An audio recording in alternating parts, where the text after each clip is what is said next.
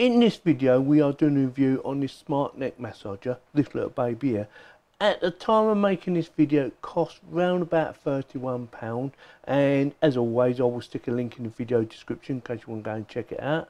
And it says, say goodbye to cervical discomfort, soothing and relaxing neck, afraid of neck pain, use me, that's what it says. It says six massage modes, voice over announcement, so obviously it talks to you. Let's have a quick look around the box. Pamper yourself anytime, anywhere. That's what it says. Sounds good to me. Enjoy wireless freedom. And nothing on the back. So that is it. That is it. So we're going to do do the unboxing. We are going to be testing these. And you might think, well, why would you need one of these? Well, my wife has a lot of aches and pains. She normally says I'm the worst. I'm her ache and pain. But seriously, she does have um, some serious aches and pain problems. She has osteoporosis, so hopefully this will help her with some of her aches and pains, hopefully anyway. So you get a manual. I will have to read the manual just to make sure I do everything safely.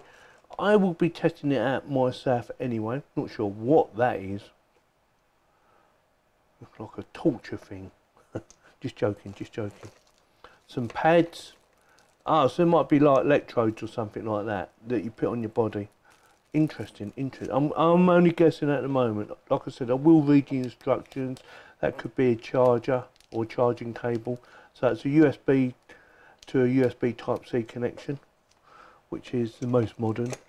So it comes with a little battery. So that's a watch battery. Interesting. And not sure what that is. Might just be a cover. Remote control. That's very good. Yeah.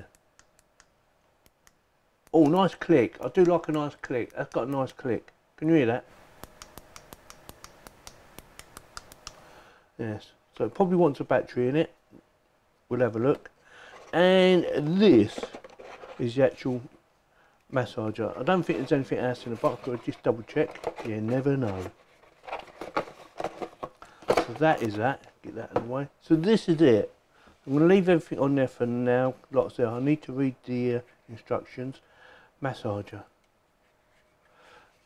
Got a couple of probes there. Is it adjustable? No, I don't know. I'd say no, but you never know.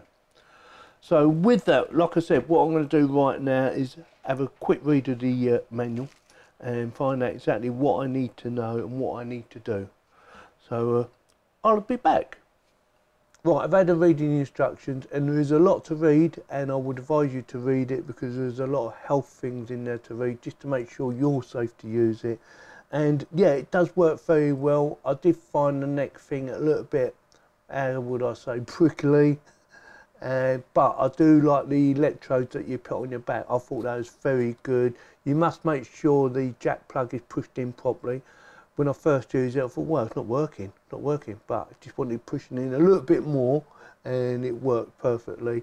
And it is a quite a weird sensation, to, and you can feel your muscles going up and down like they're being massaged by someone, but they're not. It is definitely a weird sensation, and uh, yeah, I recommend that you should try it first.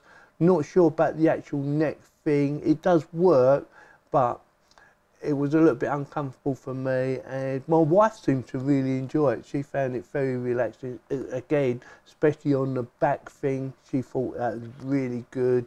I think she nearly fell asleep at one point. She said to her it felt like someone was giving her a body massage.